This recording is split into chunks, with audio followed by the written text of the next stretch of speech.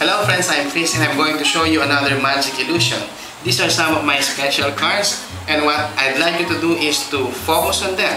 Now as you focus on them, I'd like you to choose one of these cards. Just one, okay? I'm going to give you 3 seconds to do that. Memorize your card.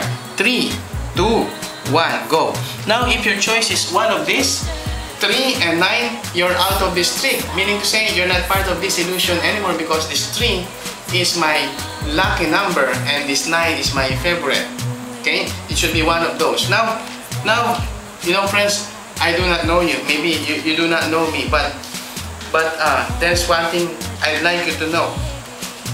Even if I can't read your mind, you know what I did?